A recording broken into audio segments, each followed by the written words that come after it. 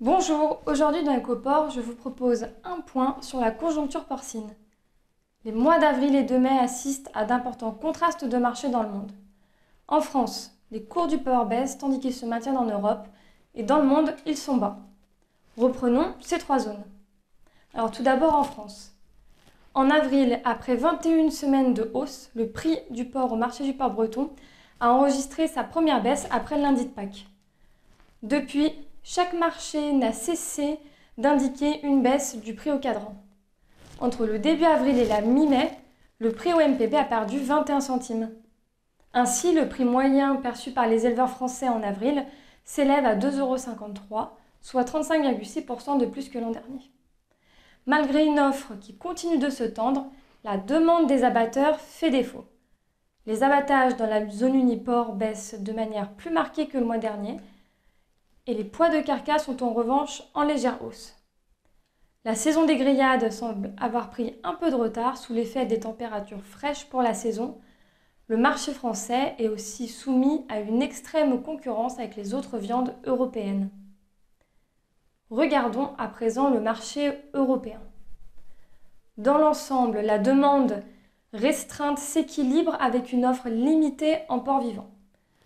En Espagne, le prix perçu par les éleveurs s'est maintenu à 2,60 euros en moyenne mensuelle en avril. En Allemagne, la référence se situe à 2,40 euros et elle est autour de 2,25 euros aux Pays-Bas. Malgré la baisse importante de l'offre en port dans l'ensemble des marchés européens, les abatteurs témoignent de réelles difficultés à faire passer les niveaux de prix actuels et résistent à de nouvelles hausses.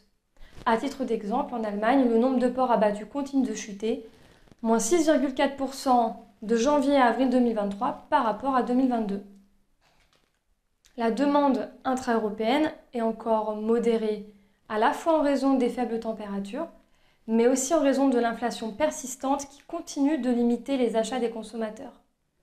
Les acteurs de la filière attendent une nouvelle impulsion de la demande. Du côté du commerce extérieur, la demande est aussi encore calme, malgré quelques signaux d'amélioration selon les Danois.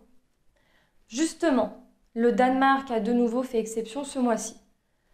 Une remontée importante des cours du porc au Danemark a été observée, de manière à réduire les écarts de prix pratiqués avec les autres pays voisins.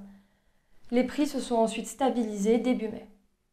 Le prix moyen du porc en avril est de 2,04 euros au Danemark et le Danemark accuse aussi une importante chute de l'offre en porc de moins 15% en 4 mois par rapport à l'an dernier.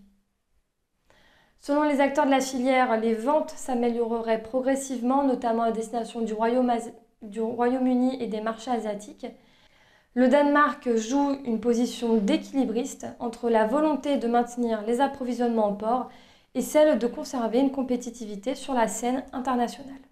Justement, je vous propose de traverser les frontières européennes pour jeter un coup d'œil à la situation mondiale. Aux États-Unis, les prix actuellement pratiqués sont encore bien inférieurs à l'an dernier et ils sont de nouveau baissiers en avril le marché américain attend une stimulation de la consommation intérieure contrainte par l'inflation.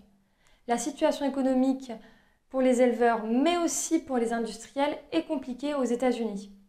Le développement des exportations vers l'Asie devrait soulager le marché américain d'ici quelques semaines.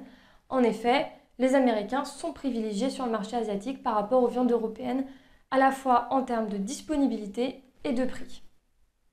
En Chine, justement, le prix du porc continue de diminuer, se rapprochant dangereusement du prix moyen en Europe. La valeur moyenne de la carcasse de porc chinoise s'élève à 2,59 euros, soit 20 centimes d'écart seulement avec la moyenne européenne. Les éleveurs chinois réduisent leur stock et les poids de carcasse sont aussi en baisse, ce qui va réduire la production et l'offre disponible en Chine. Voici ainsi la fin de notre tour du monde et nous referons le point le mois prochain. Je vous remercie et à bientôt.